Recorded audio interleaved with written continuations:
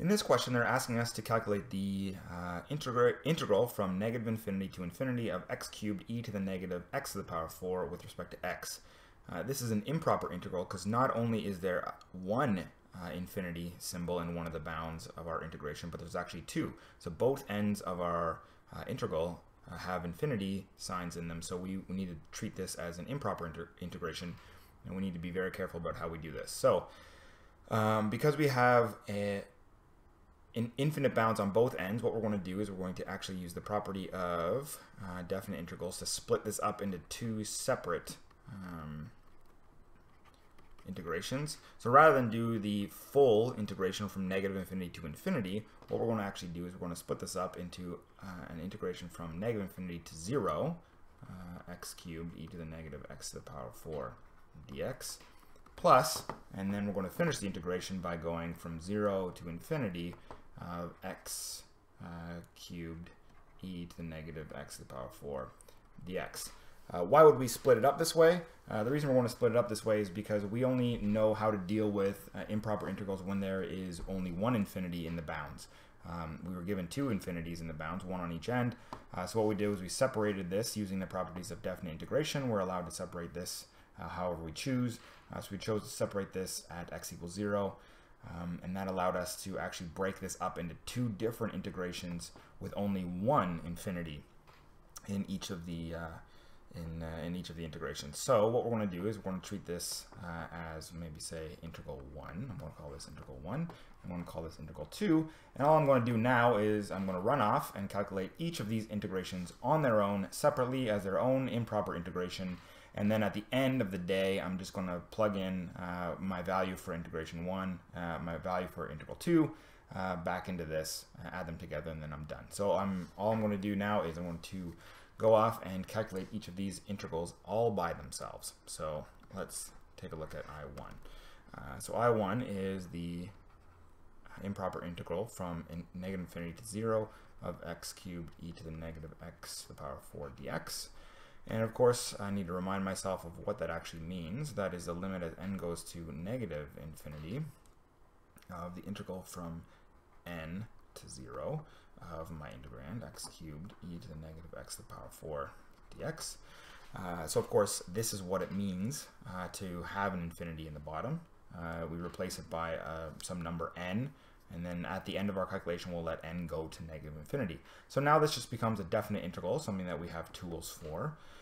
Um, but I, off the top of my head, I don't really know what this antiderivative is, so I'm going to have to use some method to actually calculate uh, this antiderivative. So maybe I'll use uh, integration by parts, maybe I'll use substitution. Um, I think substitution might be a good idea because if I substituted, um, say, u is x to the power of 4, um, the derivative of that involves x to the power of 3. And I have x to the power of 3 sitting right out in front here, so that's probably a good idea. So what I'm going to do in this is I'm going to let u is uh, equal to x to the power of 4, so I'm going to use substitution method. Of course, then I can calculate du by dx, which is just equal to 4x to the power of 3. And uh, if I pretend this is a fraction, which it's not, but if I pretend if I pretend like it's a fraction, uh, it actually helps me calculate the right answer. Uh, it allows me to say that uh, du is equal to 4x cubed times dx. And of course that means that dx is equal to 1 over 4x cubed times du. So I've actually been able to quote unquote solve for dx uh, in this way. Um, I should also calculate what my uh, bounds are going to be. My integration, my original integration was in terms of x. I want to put it in terms of u. Um, so when x is equal to n, so the bottom, uh, when x is equal to n, what is u equal to? u is equal to, well, let me see, when I plug in n into uh, my definition of u, when I plug in n for x, I get u is equal to n to the power of 4. Great. Um, so, uh, when x is equal to n, u is equal to n to the power of 4, and when x is equal to my other bound, uh, we're going to x equals 0 in this case. When x is equal to 0, that means that u is equal to, well, let me see here. When x is equal to 0, plug in 0, and for x, I get u is equal to 0. So now I have all the pieces that I need to actually go and do this uh, substitution method. So I'm still going to have limit as n goes to negative infinity. I haven't really touched this. Uh, we'll just do that at the end. But now my new integral in terms of u goes from um, when x is equal to n, my u version of this integration will start at n to the power of 4.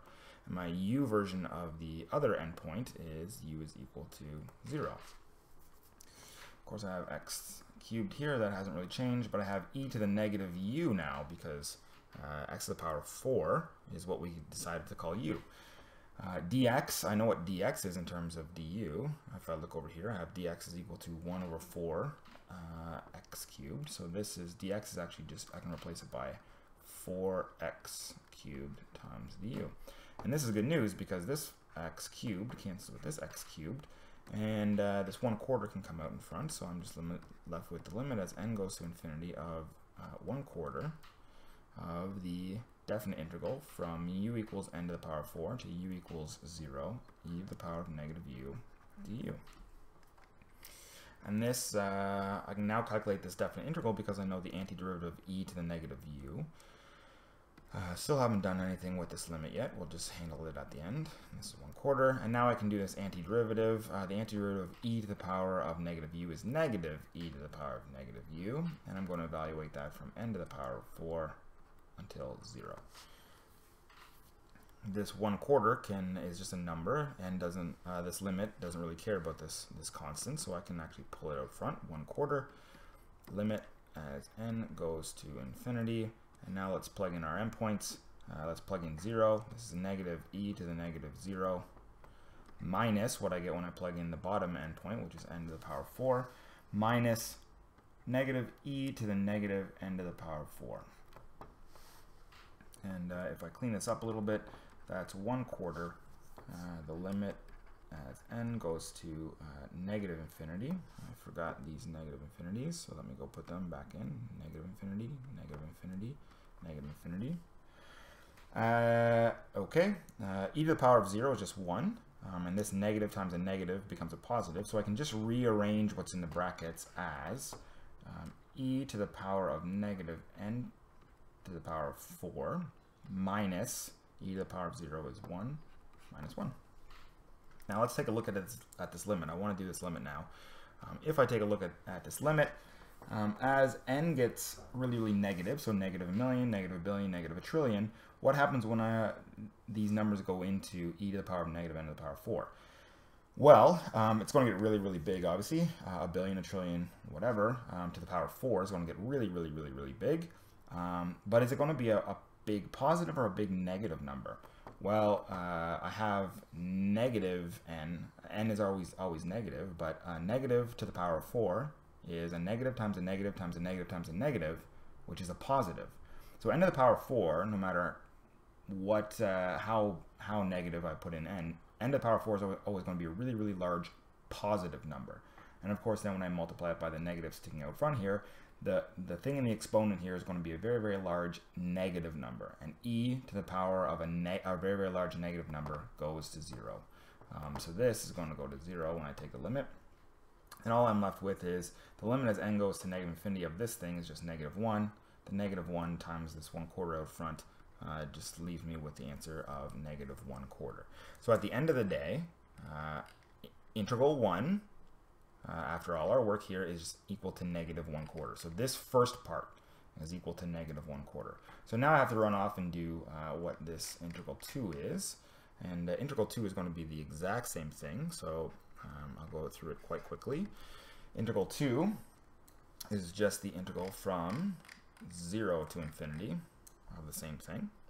Okay, so if we go in here and we do the integral from 0 to infinity, uh, x to the power of 3e to the negative x to the power 4 dx. Um, I might run into myself here a little bit. So I think I'll just draw a straight line here. So this is the second part.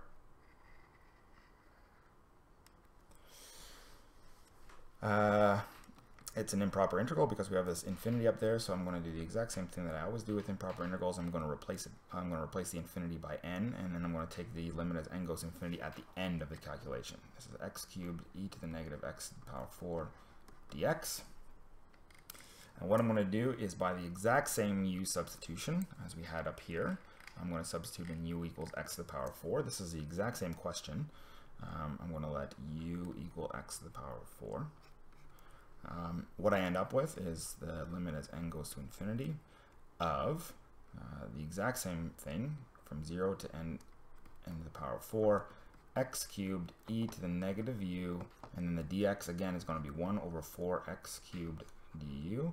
That x cubed is going to cancel out with that x cubed and at the end of the day I'm going to have the limit this is going to become the limit as n goes to infinity of the integral from 0 uh, there's going to be a 1 quarter out here 0 to n power of 4 e to the negative u du okay uh, so let's actually do this that definite integration now nothing is happening with this limit we'll just leave it there uh, actually, we can take that one quarter out front of the limit because uh, the limit doesn't really care about this number. It has nothing to do with n. Um, the antiderivative of e to the negative u, as we calculated above, is negative e to the negative u, and I'm going to evaluate that from 0 to n to the power 4. So that just becomes 1 quarter limit as n goes to infinity. Uh, so actually, let's plug in our endpoints here. Um, let's plug in n to the power 4. This becomes negative e to the negative n to the power 4 minus what we get when we plug in 0, which is negative e to the negative 0. Uh, and that is equal to uh, equal to 1 quarter limit as n goes to infinity of, let's take a look at this. Um, this becomes um, negative times negative 1, because e to the power of e to the power of 0 is just 1, so this becomes negative negative 1, so that's positive 1 this becomes 1 minus e to the negative n to the power of 4. Now if we look at this for the exact same reason that we had up in the previous integration, as n gets really, really large, um, n to the power of 4 obviously gets really, really large, and then we have a negative in front of it. So the thing that's going into the exponent of this exponential function, e to the power, the, the power is actually becoming a very, very large negative number, which means as, as n gets larger and larger and larger, this goes to 0. Uh, so all we're left with is 1 quarter times 1, which is 1 quarter. So that's integral 2. Um, so I'm just going to make a note here, substitution method. Same substitution.